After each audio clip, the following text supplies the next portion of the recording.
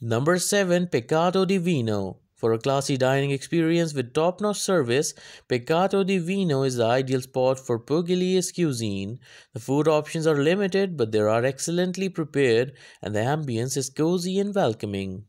Number 6. Le Roi de la Crêpe in one or more of the cities the reviewer has visited, Le Roi de la Crêpe is the greatest fast food establishment.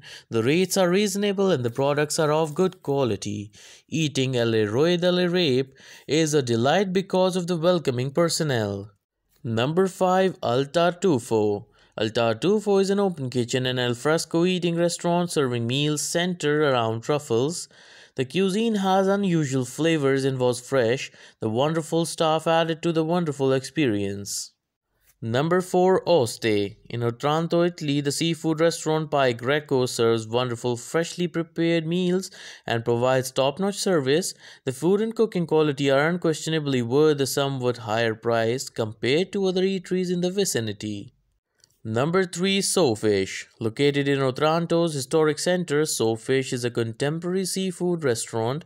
Excellent fried fish and tasty salads and a small selection of Salento wines makes up the dinner offerings. The vegan salad is the epitome of perfection. Number 2 Ristorante Il Diavolicchio Goloso. Should you find yourself in the vicinity and yearn for the finest seafood Puglia has to offer, a visit to Ristorante Il Diavolicchio Goloso is highly recommended. The covered garden patio offers an additional touch of luxury, and the contemporary farmhouse setting is surprisingly light and airy. Number 1 L'Altro Baffo Ristorante Mediterranean cuisine is the specialty of the classy contemporary L'Altro Baffo restaurant in Otranto, Italy, which is located close to the castle. There are many different alternatives for great meals and the service is excellent.